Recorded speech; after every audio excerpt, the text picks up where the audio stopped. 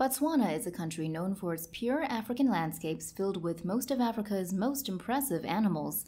The country boasts huge national parks filled with a large number of animals like lions, hippos, crocodiles, hyenas, and also hundreds of elephants.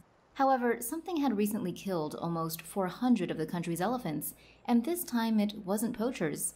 Botswana conservationists call it one of the biggest disasters to impact elephants this century, and it happened right in the middle of one of Africa's top tourism destinations. More than two months after the mass die off was discovered, investigations have now finally revealed that the mysterious deaths were caused by cyanobacteria, a toxic microscopic algae found in larger bodies of blue green water. This microscopic organism is what killed 356 elephants in the span of a few weeks. The bacteria can grow naturally in standing water. Given enough time, they can bloom into algae on a larger scale.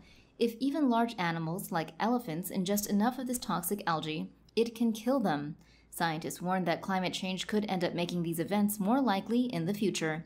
Park officials say they are investigating how the neurotoxins got into the water. They're also investigating why the algae only killed elephants and why the deaths occurred only in one area.